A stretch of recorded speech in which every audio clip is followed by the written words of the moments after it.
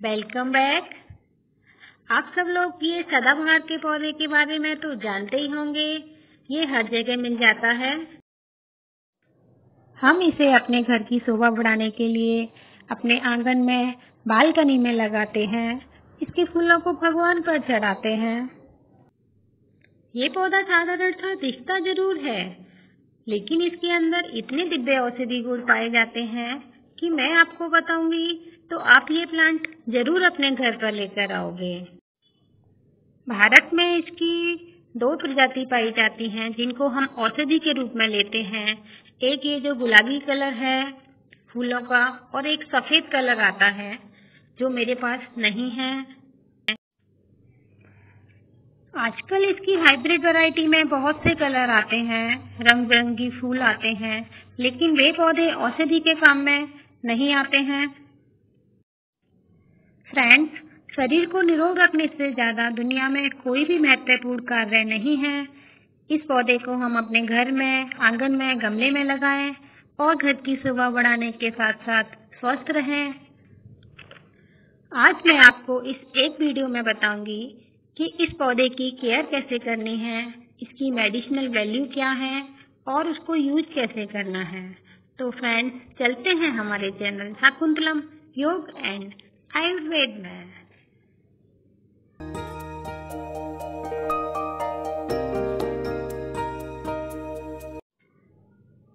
Friends ये Hardy plant है।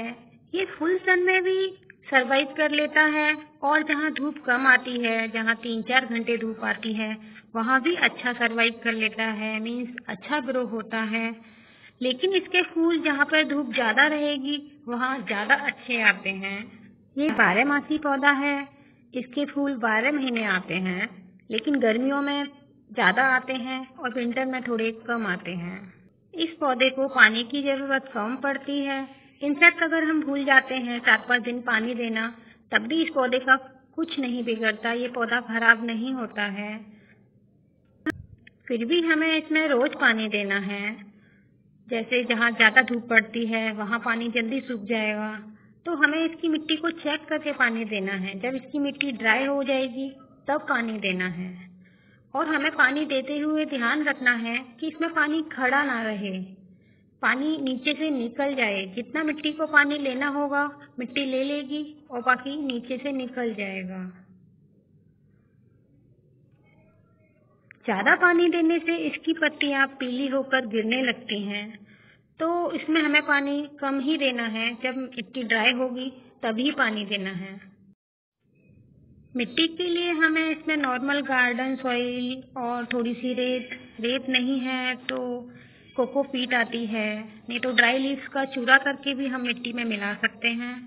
और थोड़ी सी पॉमी कंपोस्ट या फिर गोबर की खाद तो ये पौधा हार्डी प्लांट है, इसके लिए कोई खास सॉइल की ज़रूरत नहीं है। फिर भी बस हमें ऐसी सॉइल तैयार करनी है कि हमारी मिट्टी पत्थर ना रहे और इसकी पंद्रह दिन में गुड़ाई करते रहनी है। ये गुड़ाई करने से इसकी जड़ें हैं हेल्दी रहती हैं, उनको एयर लेने के लिए जगह मिलती है।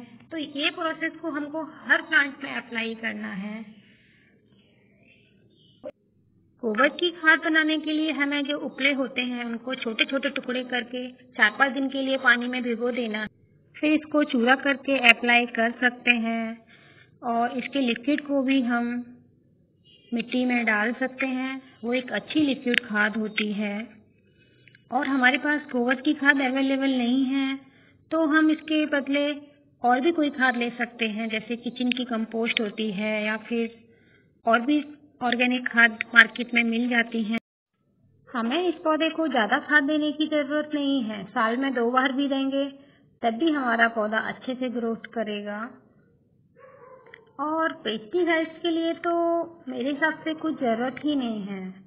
इस प्लांट में कोई फंगस कोई कीड़ा नहीं लगता है। मेरे प्लांट में तो अभी तक कोई भी कीड़ा नहीं लगा है। फिर भी हम जैसे बाकी सब प्लांट को मंथली पेस्टिसाइड्स करते हैं नीम ऑयल से या फिर कोई दूसरे पेस्टिसाइड से जो ऑर्गेनिक है, उससे हम इसको भी स्प्रे कर देंगे तो कोई बुराई नहीं है। ये plant easy to grow plant है। ये आसानी से कहीं पर भी ग्रो हो जाता है। इसे हम नर्सरी से भी ला सकते हैं।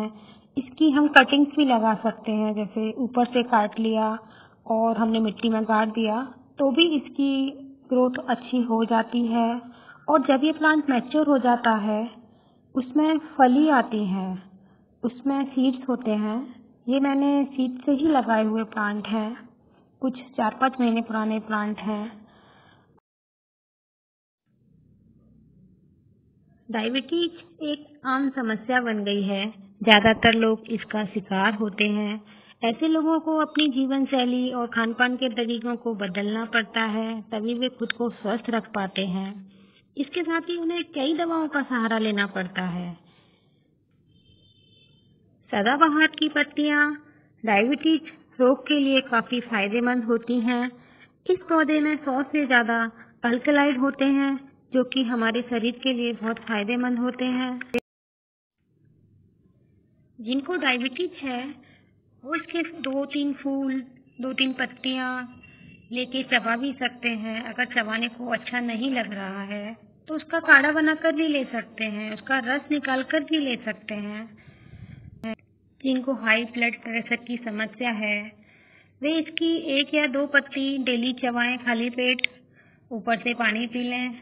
काफ़ी फ़ायदेमंद होता है।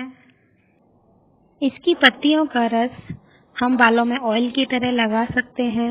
इससे बालों की ग्रोथ काफ़ी अच्छी रहती है। और इसकी पत्तियों को पेस्ट करके हम जो मेहंदी बालों में लगाते हैं, उसमें मिक्स कर दें तो ये काफ़ी फ़ायदेमंद होता है। इसकी पत्ती को तोड़ने में कुछ दूध जैसा पदार्थ निकलता है। जहाँ खुजली हो रही होती है, वहाँ लगाने के लिए ये बहुत अच्छा लिक्विड है। चेहरे के दाग धब्बे झाइयों के लिए यह काफ़ी अच्छा रहता है। कोई कीड़े मकोड़े ने काट लिया है, जैसे ततैया है, या फिर जो और भी कीड़े होते हैं तो जहाँ पर कीड़े ने काटा है, वहाँ पर इसकी पत्तियों का पेस्ट लगा दो। काफ़ी आराम मिलता है, सूजन नहीं आती है।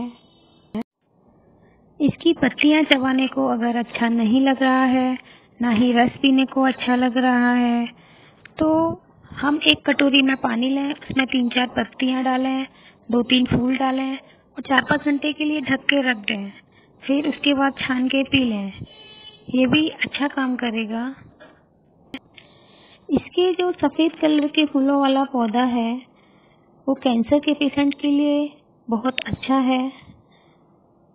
कैसे यूज़ करना है, कैसे देना है, ये मुझे नहीं पता है। अगर कोई गंभीर बीमारी है तो इसका सेवन अपने डॉक्टर को पूछकर ही करें, वरना ना करें। फ्रेंड्स इसका कोई साइड इफ़ेक्ट तो नहीं है। फिर भी सबका शरीर एक जैसा नहीं होता है। जब हम इसकी शुरुआत करते हैं, थोड़ी कम लीव से करें। अगर हमें वो सूट हो रही है तो हम इसकी मात्रा बढ़ा सकते हैं। फिर भी हमें इसकी मात्रा ज़्यादा नहीं लेनी है। तीन या चार पत्ती से ज़्यादा हमें कभी नहीं लेनी है। तो फ्रेंड्स आप ये पौधा अपने घर पर कब ला रहे हैं? आपको मेरा वीडियो अच्छा लगा हो यूजफुल लगा हो तो प्लीज़ लाइक करें और कमेंट में मुझे बताएँ। Thanks for watching.